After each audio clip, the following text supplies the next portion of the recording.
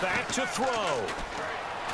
He's got time in the pocket. He's going to let it fly. This is caught inside the 15.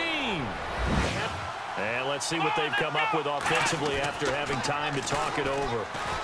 He's going to let it fly. That's caught at the 25. And he takes it down. In motion left goes a tight end.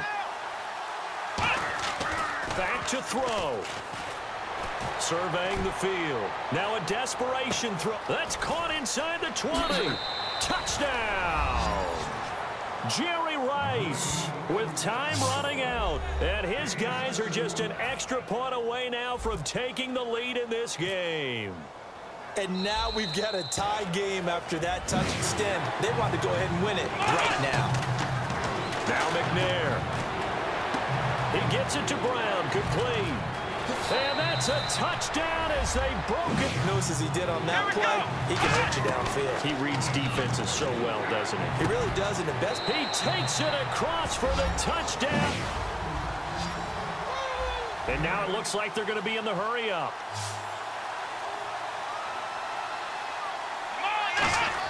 Back to throw. Hopkins on the ground.